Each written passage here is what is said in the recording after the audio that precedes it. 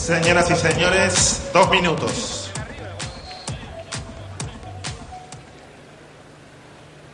Nació el 16 de agosto de 1958 en San Fernando. Se presentó en el mundo profesional con un título inédito hasta entonces. Desde la clasificación consiguió ganar el ATP de Florencia en mayo de 1978. A partir de allí, con su estilo potente y ofensivo desde el fondo de la cancha, pasó a ser una gran figura en el circuito internacional. Fue convocado para Copa Davis y en 1981 fue finalista mundial junto a Guillermo Vilas. Fue el primero en vencer al estadounidense John McEnroe en Copa Davis. En el 81 llegó a ser número uno del país, alcanzó el cuarto puesto del ranking mundial y construyó una racha consecutiva de 28 partidos cuando ganó en Boston, Washington, North Conway e Indianápolis. Ganó 25 torneos en singles, dos veces semifinalista en Grand Slam. Genial, Se clasificó cuatro Levantando veces para el. Masters. Señoras, señores, José Luis Clerc.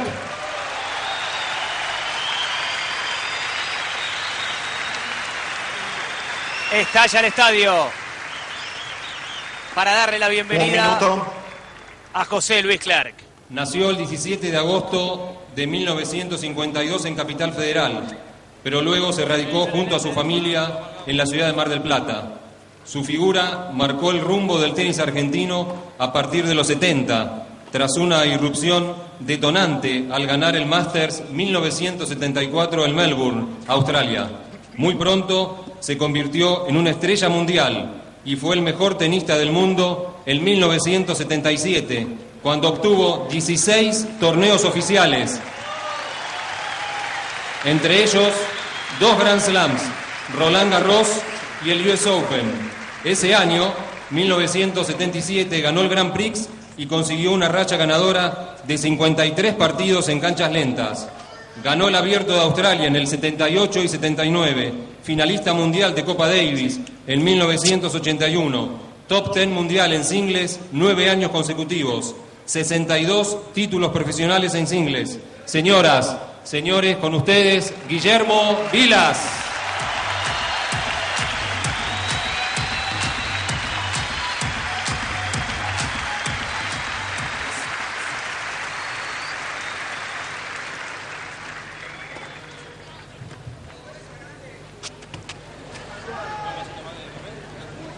El árbitro del partido es el señor Jorge Mandel, es árbitro internacional de tenis.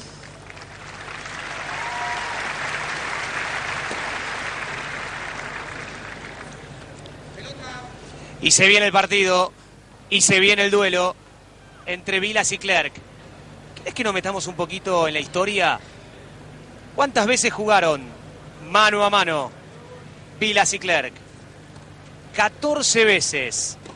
Hay que decir que Guillermo tiene 6 años más que Clerc. En esos 14 duelos, los primeros, los primeros 6 fueron para Vilas.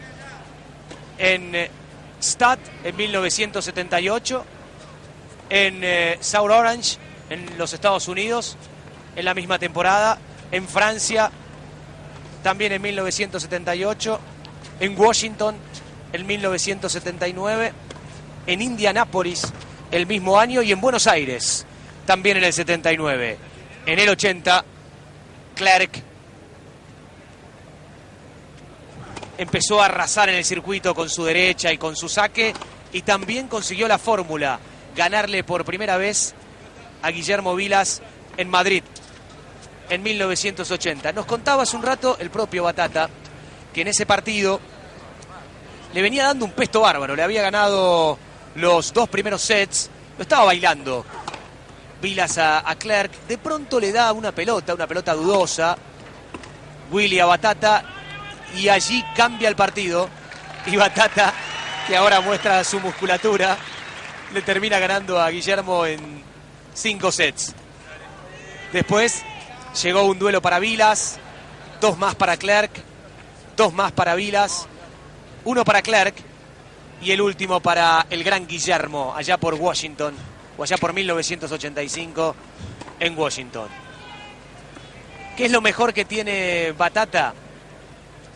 Vamos a, a contestar con lo que dijo Vilas. La derecha, la potencia, que de acuerdo a lo que vio el propio Willy en los entrenamientos que tuvieron esta semana, está intacta. ¿Qué es lo mejor que tiene Vilas de acuerdo a lo que piensa el propio Clerk? Mientras le vemos que le saca un globito. Lo mejor que tiene es la garra. Guillermo sigue corriendo prácticamente como lo hacía cuando era profesional. Y tiene 60 años, impresionante realmente cómo está físicamente Vilas, que entrena todos los días, que además entrena a su hija de 9 años, a su hija mayor, tiene tres, tres mujeres, y que sueña con que ella sea profesional en el futuro. La nena entrena dos veces por día, ¿eh? a la mañana, después va a la tarde al colegio y después vuelve a entrenar cuando ya cae la tarde. Dice que tiene muchos recursos.